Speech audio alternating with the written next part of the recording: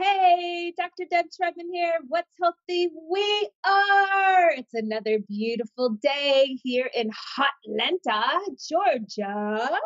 And I wanted to talk about sciatica today because sciatica sucks and a lot of you out there who are suffering from sciatica. And if you don't know what sciatica is, let me tell you it is when you have pain that runs from the low back down the leg. It could be numbness, it could be burning, it could t- be tingling.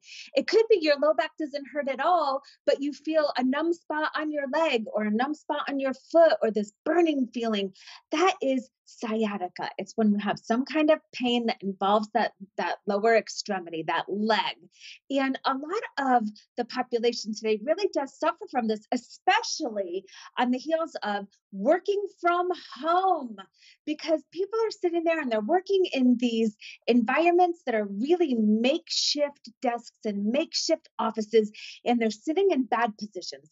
And sciatica is one of those things that really you would benefit from making sure that you're sitting in the right position. So ergonomically, everything should be in the right position. And you know, a really quick easy test is just make sure that when you're sitting in a chair, your hips are at 90 degrees, your knees are at 90 degrees, your ankles are at 90 degrees, your feet are flat on the floor, or they're on a book or a telephone book if it's from the old days, some kind of a stool, something to keep you at that 90 degrees. Um, and then for those of you who have neck pain or pain going down the arm, um, that is also a radiculopathy, and that also can be really um, helped if with obviously chiropractic care, massage therapy, and acupuncture. But at home between visits, and don't wait too long to come in between visits. You can make sure that your elbows are at 90 degrees, your wrists are straight out, your keyboard is straight ahead of you, your monitor is straight ahead, so you're not looking up and you're not looking down and you're not like this, that you're really sitting up tall, straight, and relaxed. Those shoulders are relaxed. And that's the correct position so that you can prevent your body from impinging on nerves and causing muscle spasms and everything being out of whack and then getting something like sciatica. Um, I know a lot of people wait before they come in to see a chiropractor. And I don't understand this. You know, I guess maybe if you're that person that wakes and doesn't go to the doctor for a cold and that kind of stuff too, okay, I get it. But the longer you wait with any kind of a physical issue, the harder it is structurally to get you better. So it takes longer. So if you have it and you've been suffering with pain or headache or neck pain or pain down the arm or carpal tunnel or tennis elbow or golfer's elbow or knee issues or hip issues or feet issues, plantar fasciitis, sciatica, all of those things can really be rectified by getting your butt into a chiropractor's office and getting the therapies, electrical stim, ultrasound, ice, heat, just kind of depending on where you are in the process and how your body is handling it. And this will really, really make a big difference. Um, you know, another interesting thing, and I always want to say this is if you've had bowel or bladder dysfunction, you know, you need to make sure that A, it's not an emergency and you go to the emergency room for that. But if you're having bowel or bladder dysfunction, if you're having problems with pregnancy, keeping a baby, getting pregnant, um, all kinds of different things, that can also be an issue with your low back. And you know, you might not even have back pain when you're when this stuff is going on.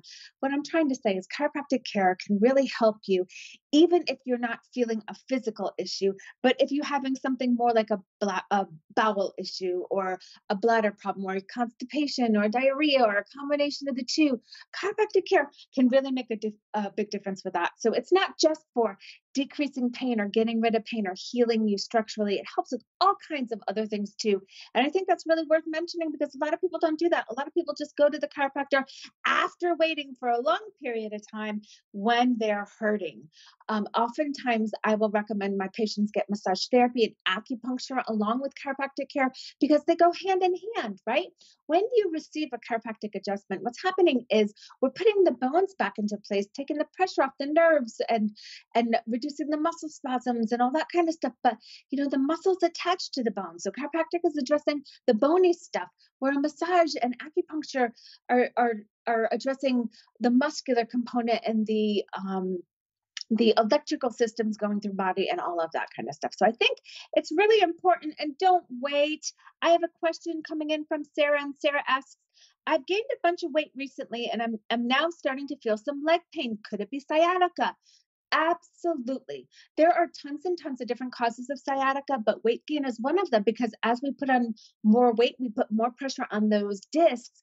And if we put more pressure on those discs, they can get narrowed. You could get a bulge, you could get a extrusion, it could put pressure on the nerve, and then it can cause pain down the leg. And oftentimes, losing weight will help but in the meantime, getting good chiropractic care, taking the bone off of that nerve, taking the pressure off of that nerve will really make a different, a big difference. So that's a great question, Sarah. Thank you for asking.